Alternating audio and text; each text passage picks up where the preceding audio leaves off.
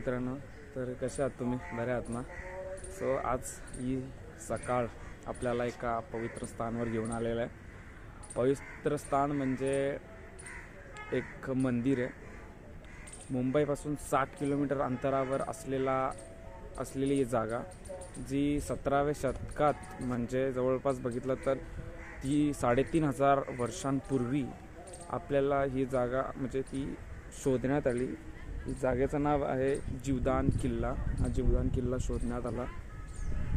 जीवदान किल्ला सांगितला तर हा खूप प्राचीन आहे कारण की या मन या ठिकाणी जीवदानी देवीचं स्थान आहे आणि आम्ही तिथेच आलेले आहेत आज. ही पांडवकालीन जागा आहे सो या इथे असं सांगले सांगितलं जाते इथले रहिवासी आहेत ना हे सांगतात की इथे पांडवकालीन दगड असतात ना जे कोरलेले दगड असतात ते सुद्धा इथं सापडले आहेत सो हा खूपच जुना असा किल्ला सांगू शकता तुम्ही.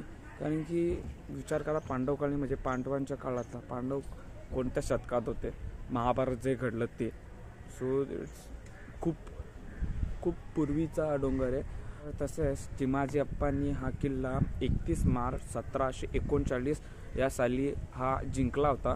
मग सो हा किल्ला स्वराज्याच्या याच्यामध्ये आला असा असावा तर तुम्ही हा बघू शकता पाठीमागे. हे बघा. तुम्हाला दिसेल का माहीत नाही. बघा एक मिनटं. हे बघा. बघू शकता तुम्ही. इथे आम्ही जाणार आहेत आता झूम तर नाही होणार पण आम्ही इथे जाणार आहेत so let's the journey begin तर या जीवदानी मंदिराचा इतिहास सांगितला तर विरार पूर्वेला रेल्वे स्टेशनपासून साधारण दीड किलोमीटर अंतरावर जीवदानी डोंगर आहे. आज जीवदानी डोंगर म्हणून प्रसिद्ध असणाऱ्या या गडावर सतराव्या शतकात सुमारास जीवदान किल्ला होता. येथे आज तटाचे काही कोरीव दगड आढळतात. आणि मातेचे वास्तव्य केव्हापासून आहे हे कोणीच सांगू शकत नाही असे इथले रहिवासी सांगतात. मातेच्या वास्तव्याचे अनेक आख्यायिक आहेत. गडाच्या पायथ्याशी शेतात अनोळखी गाय नित्यनेमाने चरण्यासाठी येत असे. असे इथले रहिवासी सांगतात पण ती गाय कोणाची आहे हे समजले नाही. दिवसभर ती चरायची आणि सं संध्या समय निघून जायची. एक दिवशी शेताच्या माल त्या गायीच्या पाठोपाठ जाऊ लागला. ती गाय पूर्वेकडील डोंगरावर चढू लागली. तसे तोही डोंगरावर चढू गेला. डोंगरावर ति जिथे मैदानी जागा होती तिथे ती गाय थांबली. त्या क्षणी तेजस्वी स्त्री तिथे प्रकटली. शेतकऱ्याला वाटले होते त्या गायीचे मालकीन असावे. त्याने तिच्याजवळ आईचे पैसे मागितले. पैसे काढून त्या शेतकऱ्याच्या हातावर ठेवणार तोच तो म्हणाला बाई मी अस्पृश्य आहे. मला स्पर्श करू नकोस. हे शब्द कानावर पडताच ती स्त्री नाहीशी झाली. शेतकरी अवकक झाला. त्या क्षणी गायीने हृदयविकारात अंबारडा फोडला आणि कड्यावरून स्वतःला जोखून दिले. याचे रहस्य अजूनही कोणाला उघडले नाही पण तिने आपला जीवचे दान केले म्हणून या डोंगराला जीवदानीचा डोंगर व तेथे वास करणारी आदिमाता म्हणून जीवदानी देवी प्रसिद्ध आहे. असा हा इतिहास आहे ते इतिहासाच्या पुस्तकामध्ये हे सगळं लिहिलेलं आहे. या ठिकाणी आपल्याला जायचं सो यासाठी खूप वेव्ज आहेत. म्हणजे जवळपास तीन वेव्ज वे आहेत जाण्यासाठी. एक लिफ्ट वे हा ही लिफ्ट वे आहे ही ही. आणि याच्या साईडची म्हणजे राईट साईडची ही रोप वे आणि इथून पायऱ्यासुद्धा आहेत. म्हणजे वरती जाण्यासाठी. तर सांगतात की इथे जवळपास पंधराशे पायऱ्या आहेत. म्हणजे विचार करा तुम्ही विचार करू शकता की किती उंच आहे हा. पंधराशे पायऱ्या it's not a joke so आपण आता पायऱ्यां थ्रू जाणार आहेत. सो आपल्याला बाकीचे व्ह्यूज वगैरे भेट दिसतील. सो इथे बघा इथे ओम असं नावाचं एक कोरलेलं आहे. आणि ते काहीतरी कोणतं तरी याच्याने ते लिहिलेलं आहे ओम. बघू शकता तुम्ही. सो चला चढाई चालू करूया. तर इथे आमची चढाई चालू झाली. तर मंदिराचे काही वैशिष्ट्य सांगितले तर एकोणीसशे सेहेचाळीस ते एकोणीसशे छप्पन या काळात बारीकबाय नावाचे भक्त रोज डोंगरावर जाऊन नेमक देवाची पूजा करत त्यानंतर एकोणीसशे छप्पनमध्ये देवीच्या भक्तांनी मूर्तीची प्राणप्रतिष्ठा केली. सौम्य शीतल प्रसन्न अशा या मूर्तीच्या डाव्या हाती कमलपुष्प आहे. तर उजव्या हाताने देवी भाविकांना मनपूर्वक आशीर्वाद देते. त्यापूर्वी देवीची लाडकी मूर्ती होती. तेवीस फेब्रुवारी एकोणीसशे छप्पनमध्ये जीवदानी मंदिर ट्रस्टची स्थापना झाली. सुरुवातीला कमी प्रमाणात भाविक येत. अरुंद पायवाट असल्यामुळे कुठल्याही सुविधा नसले नसले असे हे स्थान होते. हळूहळू मंदिराचा जीर्णोद्धार होत गेला. जुन्या मातीच्या पायऱ्या होत्या. त्यानंतर एकोणीसशे एक्क्याण्णवमध्ये जवळपास सहाव्या हजार सिमेंटच्या पायऱ्या बांधण्यात आज वीस वर्षांपूर्वी जीवदानी देवीचे भव्य मंदिर बांधण्याचे काम सुरू झाले. डोंगराच्या कुशीत उभे राहिलेली सात मजली इमारत बांधण्यास अनेक वर्षे लागली. आजही या इमारतीचे किरकोळ काम सुरू आहे. देवीच्या मूर्तीसमोर भव्य महामंडप असून त्यात पाच हजारहून अधिक भाविक बसू शकतात. पहाटे चारला मंदिर उघडल्यानंतर साडेपाचला काकड मध्यनीला व रात्री साडेसातला देवीची आरती होते. पहाटे अभिषेक अभिषेक झाला की त्या मूर्तीचा साधा शृंगार सुद्धा होतो. इथे मंगळवार रविवार व सुट्टीला इथे लाखो भक्तांची गर्दी होते. कारण असंही सांगतात तिथले रहिवासी की ही देवी ही नवसाला पावते. त्यामुळे बरेचसे भक्त आपला नवस बोलतात या देवीला. आणि व इथे अशा सुट्टीला जा- म्हटलं किंवा असे कधी कधी असं कोणता ओकेजन असलं जर नवरात्री झालं इथे खूप हजारो लाखो भक्तांची गर्दी होते.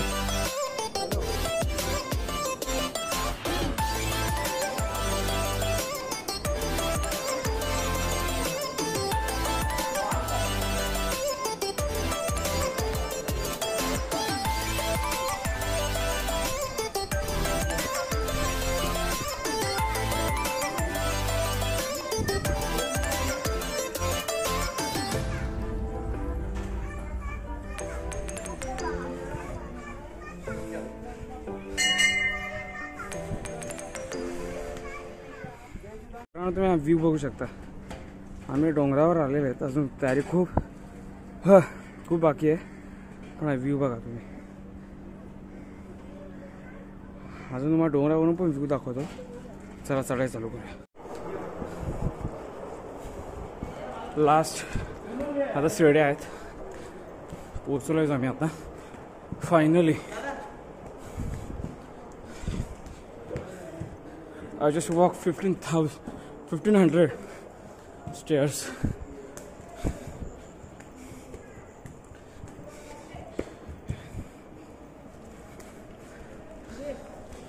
तिथून मला साईडला असे स्टॉल दिसतील.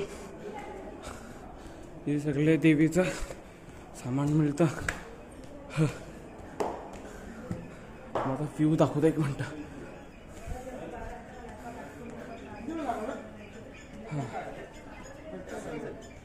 हे बघा. बघू शकतो ना व्ह्यू बघा.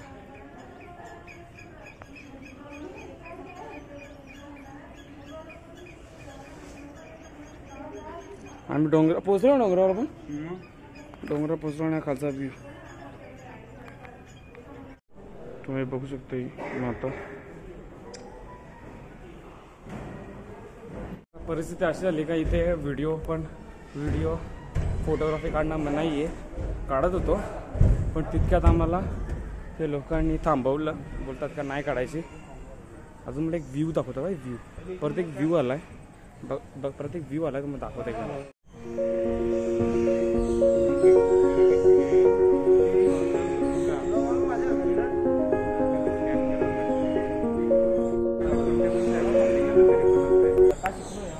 शकता. इथे क्रिकेट ग्राउंड सुद्धा आहे. क्रिकेट ग्राउंड सुद्धा आहे. आणि हा बघा. व्ह्यू बघा.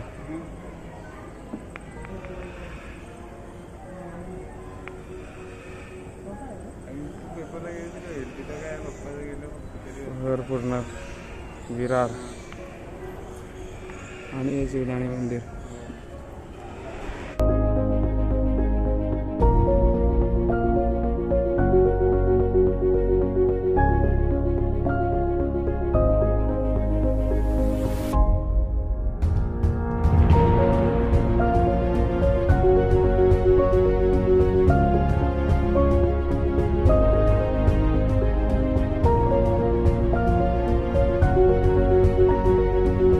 इथे आता आम्ही आलो आहे वरती आलो आहे टॉप फ्लोअरला इथे तुम्हाला बसण्याची व्यवस्था सर्व आहे इथे.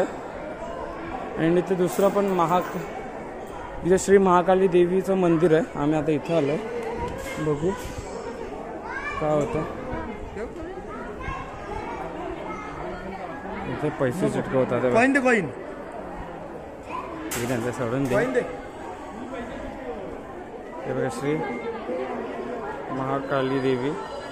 काल भैरव मंदिर आहे हा आणि हा महाकाली देवी आहे. हे बघ.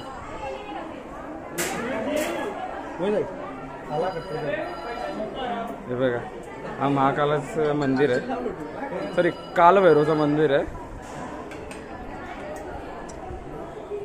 जे मंदिराचं जे रिनोव्हेशनचं थोडंफार काम चालू आहे आणि इथे जो आप काय बोलता परिसर आहे ना हा खूप स्वच्छ आहे. कारण इथलं जे ट्रस्ट आहे ना जीवदानी मंदिर ट्रस्ट आहे ना ते खूप स्वच्छ ठेवतात इथला परिसर. आणि ते स- बाकीची सोय सांगाल तर खूपच चांगली अशी आहे. राहण्यासाठी शेडसुद्धा आहेत बसण्यासाठी जागासुद्धा केलेल्या आहेत. आणि स्पेशल म्हणजे चढण्यासाठी ह्या सीड्या पूर्ण अशा सीड्या आहेत. हे बघा बघू शकता. आणि खूप अशी चांगली सोय बघा इथे सोलार सिस्टीमसुद्धा आहे. चांगली सोय अशी केलेली आहे या ट्रस्टने खूपच असं मन प्रसन्न झालं आल्यावर.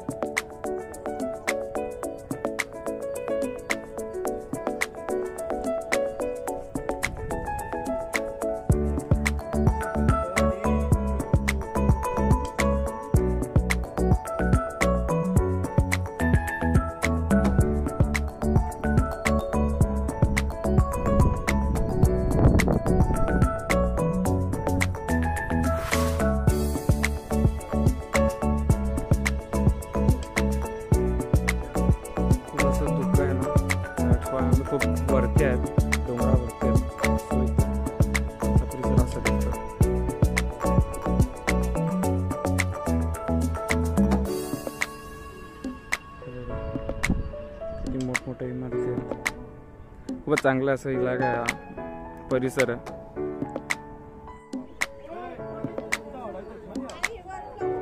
हे बघा.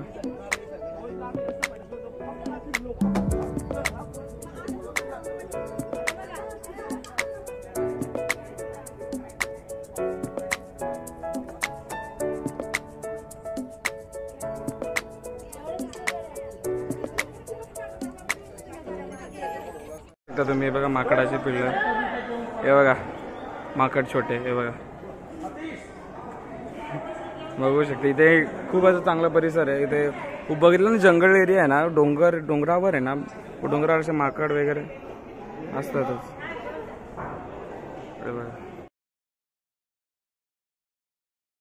तुम्ही आता बघू शकता आम्ही आता जीवदानी मंदिर वर जाऊन दर्शन करून आता आम्ही कलंब बीचवर आलेलो आहेत. हा बीचचा व्ह्यू बघा तुम्ही. हे बघा. हे बघा. बघू शकता तुम्ही बीचचा व्ह्यू पाठीमागे कलंब बीच आहे. खूपच आता इथे साफसफाई थोडीशी चालू केली आहे. म्हणजे ते ट्रस्ट वेगळे असे ऑर्गनायझेशन्स असतात.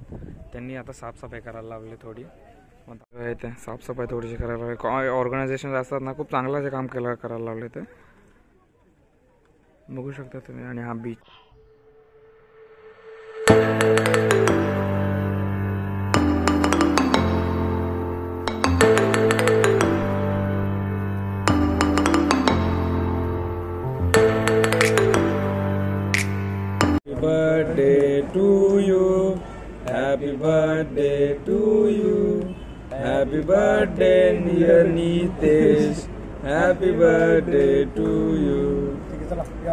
Ahí pasa.